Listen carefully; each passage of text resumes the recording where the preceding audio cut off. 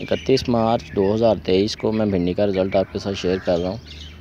और ये हमने कब लगाई है, कैसे लगाई है, इसकी तफसील भी बताता हूँ और इसके लिए आगे हमने क्या करना है, ये भी मैं आपको बताता हूँ तो वीडियो आप देखते रहें। अस्सलाम वालेकुम उम्मीद करता हूँ खैरियत से होंगे। आज मैं भिंडी की पहली गोडी कर रहा हूँ और गोडी इसलिए कर रहा हूँ क्योंकि कुछ जगहों पे भिंडी का बीज निकला नहीं है और कुछ जगहों पे इसके जड़ी बूटियाँ निकल आई हैं।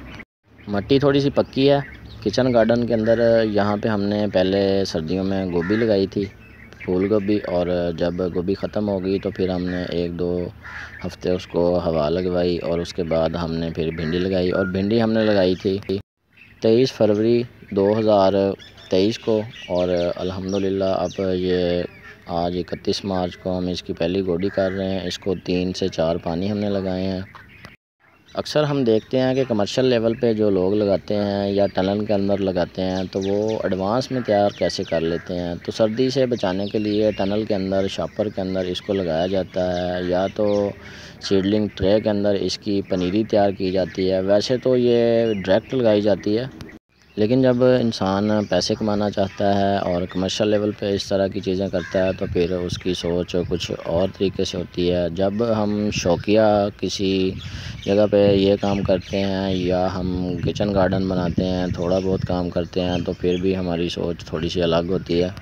सोच अलग होने से मुराद ये है कि मैं बात कर रहा हूँ, अगर हम कमर्शियल लेवल पे लगाते हैं, बड़े पैमाने पे इस तरह की सब्ज़ियाँ लगाते हैं तो हमारा जो टाइम टेबल है, वो थोड़ा सा आगे पीछे हो जाता है। एडवांस लगानी पड़ती हैं बार दफ़ा थोड़ी लेट लगानी पड़ती हैं, ताकि हमें प्रॉफिट हो सके।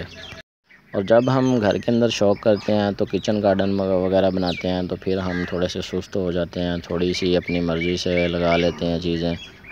वैसे तेईस फरवरी को हमने लगाई है, बहुत अच्छा टाइम था और अल्हम्दुलिल्लाह अब इस पे फूल भी आना शुरू हो चुके हैं और मैं गोडी इसलिए कर रहा हूँ कि इसके अंदर जो खेलें बनाई थी, उसमें दराड़ें भी आ चुकी थी, ज़मीन थोड़ी सी पक्की है और इसके अलावा इसकी जो साइडों से मट्टी थी, वो भी कम थी, पौधों के साथ मैंने मट्टी भी चढ़ा दी, आप देख सकते हैं।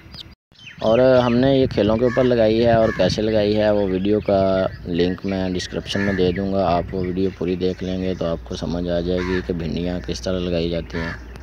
इसको फुल धूप में लगाना चाहिए और ये गर्मियों में बहुत ज़्यादा अच्छी तरह से ग्रो कर जाती है और पूरी गर्मियाँ हम इससे भिंडियाँ उतार सकते हैं। इसके साथ साथ हमने लगाई है बेल तोरी। बेल तोरी कैसे लगाई है, वो भी एक साइड के ऊपर, ये देख सकते हैं आप। इसको भी मैं मट्टी लगा रहा हूँ।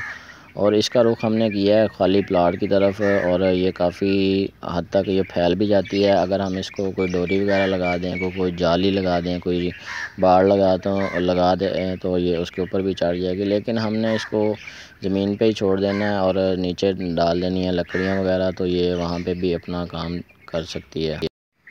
माशाल्लाह से ये भी अच्छी चल चुकी है और इसकी बेलें भी काफ़ी हद तक तैयार हुई। ये भी हमने एक ही साथ लगाई थी, तेईस फरवरी को हमने लगाई हैं। और साथ में भिंडी तोरी भी हमने तेईस फरवरी को लगाई है और अल्हम्दुलिल्लाह ये भी काफ़ी हद तक अच्छी ग्रो कर गई हैं। बाकी एक बार भिंडी के आप फूल चेक करें और बहुत अच्छे फूल इस पर आना शुरू हो चुके हैं। जैसे ही इस पर फूल बढ़ते चले जाएँगे, इसकी बाद फ्रूट बनना शुरू हो जाएगा और एक बार हम फ्रूट तोड़ेंगे तो फिर ये पौधा जल्दी जल्दी अपना और फ्रूट उठाना शुरू कर देता है। उम्मीद करता हूँ आज की वीडियो समझ आई होगी। मज़ीद गार्डनिंग से मतलब किचन गार्डनिंग से मतलब अच्छी अच्छी वीडियोस देखने के लिए मेरे चैनल को सब्सक्राइब कर लें। बेल आइकन को प्रेस कर दें ताकि मालूमती वीडियो आप तक पहुँच सकें। अपना बहुत सारा ख्याल रखें। खुदा हाफिज़।